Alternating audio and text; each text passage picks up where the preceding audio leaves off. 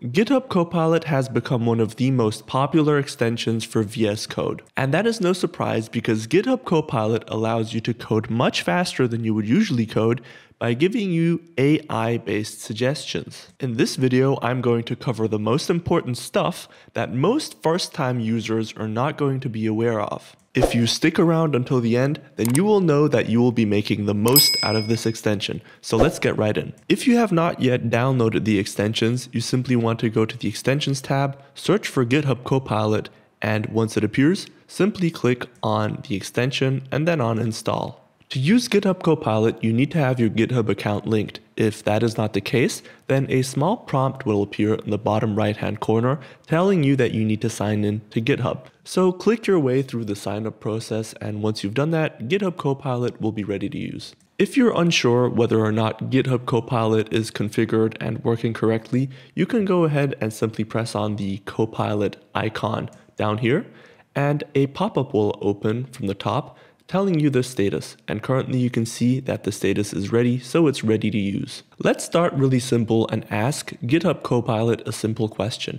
You can see that in this blank test.json file there is already a line written by GitHub Copilot. It comes right after you install the extension and it says press Ctrl I to ask GitHub Copilot to do something. So when I press that on my keyboard I get this small line that opens up that allows me to put in a prompt into my editor. So let's go ahead and put in something like make a function that concatenates two strings. And we can simply send that by pressing enter. And you will see that I subsequently get a function written in the editor that takes two strings as parameters and returns the concatenated value.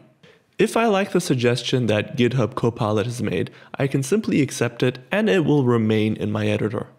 GitHub Copilot also allows me to make adjustments to the code that is written in the editor. So if I go ahead and highlight the code and right click and then go on Copilot and start inline chat, which I can also open up using Control I as we did earlier, I can now make amendments to the highlighted code by simply writing something into the line again. So let's go ahead and say add another string input and send that using enter.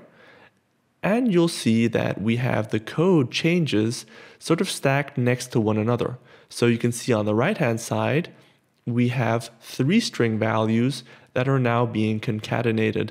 And I do like these changes, but instead of pressing accept straight away, let's go ahead and press on this down arrow icon next to discard.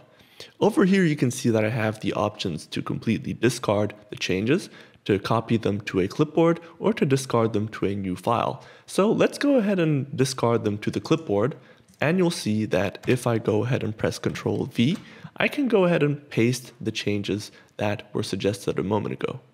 Another really helpful thing is that GitHub Copilot detects what you're writing and automatically makes suggestions for your code.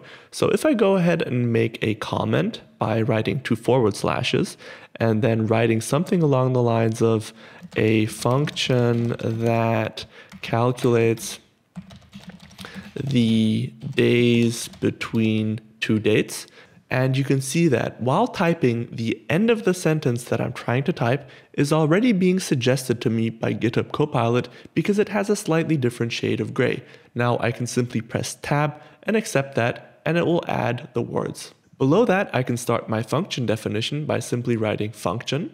And pretty much instantaneously, GitHub Copilot is going to come up with a code suggestion.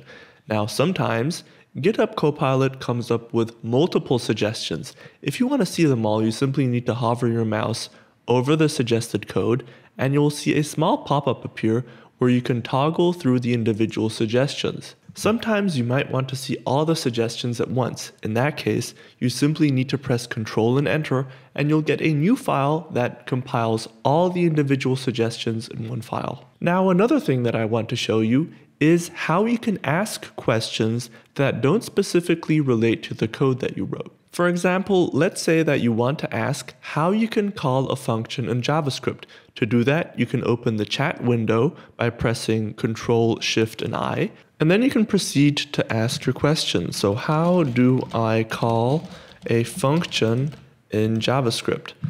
And you'll see that GitHub Copilot is going to give you an answer to your question. And if you prefer to have the chat window open next to your code, you can either press on this small chat icon, or you can press on the chat icon on the top of the window over here, and this will open the sidebar. The next thing I want to show you is how GitHub Copilot can explain some code for you. So we're going to take one of the suggestions from the right hand side, and we're simply going to paste it into the test.js file. Now, the next thing that I'm going to do is I'm going to highlight the code that I just pasted in. I'm going to right click on it and then in Copilot, I'm going to write, uh, go ahead and click on explain this. And once I do that, you can see the sidebar opens up and it goes ahead and explains the code that I have highlighted, which is super helpful. The last final fun fact that I want to show you is that when you go to the source control and you've made some changes to one of your project, you can simply generate a commit message without having to write one yourself. So right here I have a project that I'm currently working on and you can see that I have a couple of changes.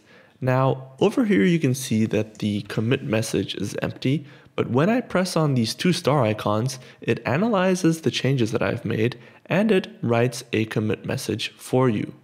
So I'm going to leave it here for this video. If it helped you out, then make sure to support me by subscribing and liking this video. See you in the next one.